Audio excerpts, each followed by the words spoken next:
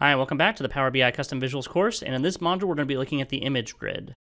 Now the image grid is really just a unique way to show and view multiple images, and then use a measure within inside of your data set to reorganize how those images are displayed. So you can use that measure to perhaps maybe show the top list of values, so maybe you want to see the top ranked values if you wanted to, or maybe you wanted to have a weighted list of those values displayed by the image, or you can even just show images in a grid form. And so basically, a grid form would almost be like a table of images that you have. And it's a nice little way to be able to visualize, and you could even sort your images based on a particular measure that you have. Pretty simple little idea here, but it's a nice way to be able to show images. And you can see here below who this one is developed by. But let's go ahead and walk you through how you can get started by using the image viewer in an example I have set up for you. All right, so in this example, we're going to begin by going to pull some data that's all around movie studios and the number of movies they release and how much money they make on those movies. So I'm going to go up to the Get Data section to start us off. We're going to pull in some data from Excel. And then from Excel, we're going to pull in this movie studios data that I have. I'll be sharing this with you as well. And then I'll hit open. Once I pull this in, I'll go ahead and tell it that I want to bring in the rankings spreadsheet within inside of that workbook. So I'll say, select rankings here and then click load to bring this into my Power BI data model. Now you'll notice in the data, you might have seen it there a moment ago, we're going to see multiple different types of movie studios. We're also going to see things like the uh, location where we can find an image for each of these. It's actually a nice little Bing search that'll return back an image for us. We can also see how these rank as far as the amount of money they're bringing in. We can have their, their market share as well as the total gross in millions, and then the number of movie releases they had last year here. So it's some, it's some decent looking data here. And what we can do is we can take this back over to the report view and we can tell it that we want to use the image grid. And the way we can select the image grid is by going up to the custom visuals section here and tell it that we want to bring in the image grid from a store. So I'll select from store. And then once we select from store, I'll type in the image grid to be able to return back the visual that we want to use for this example. So I'll select image grid. There we go. And we'll go ahead and add in the image grid. It tells you can visualize images in Power BI. Yeah, fair enough. So I'll select add.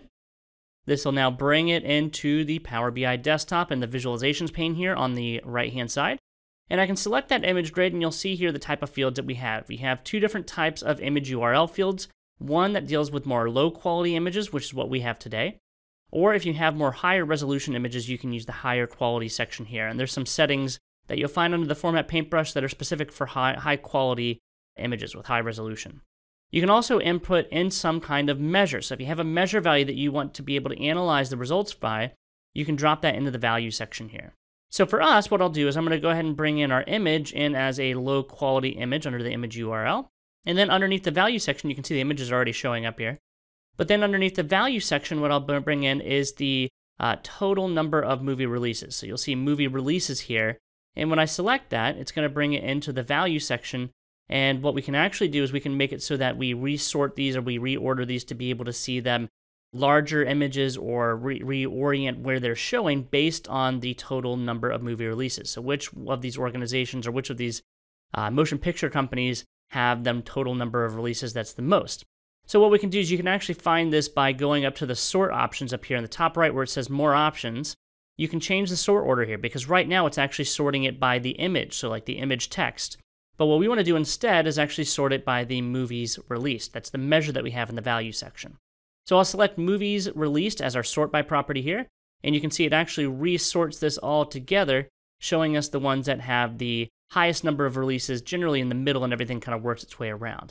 So the movie studio that had the most releases for us, we can go look here, was, looks like the uh, Fathom had 26 movie releases. And then Sony Columbia Pictures had another 26. So if we go to our report view here, you can see Fathom is in the middle, and then uh, Sony uh, Columbia is right here. So they're kind of working their way towards the middle. Now you can really adjust this some if you wanted to. So if I wanted to, we can make this a little larger, increase the size.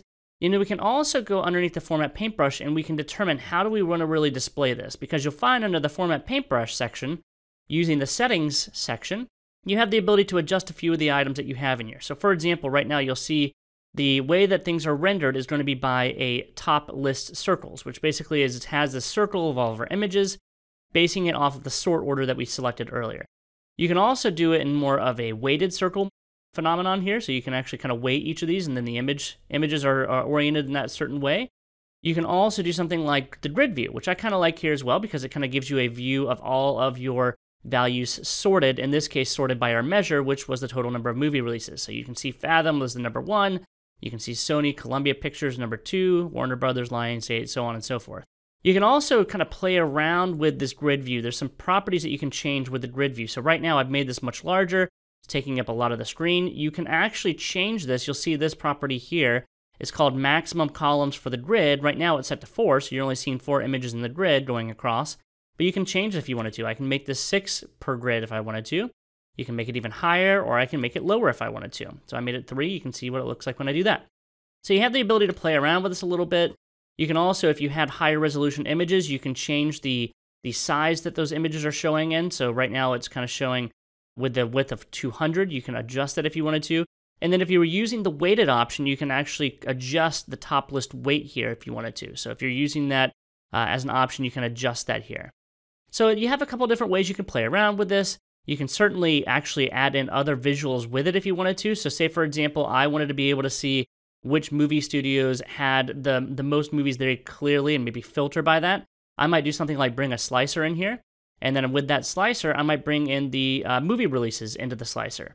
And I can see that uh, my movie studios have either had anywhere from 1 to 26 different movies released within last year.